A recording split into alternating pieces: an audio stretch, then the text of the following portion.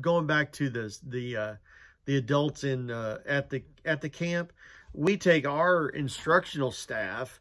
Um, I take a I try to take a band mom as a chaperone, and um, if I can't get an actual mom, I, I get an adult uh, to go along, and uh, they're there to take to make Gatorade, um, and um, just you know if somebody needs to go needs to run up to medical or whatever, they can um, get a skin knee or something.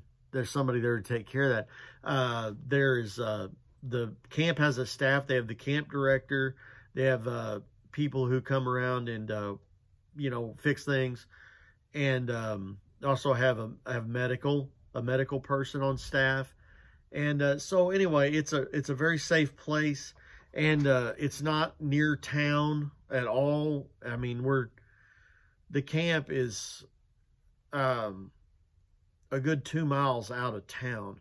So there's, you know, there's, it's very secluded and it's uh, very safe. Um, the, uh, hold on, I'm going to pause it just for a second because they're starting to do announcements.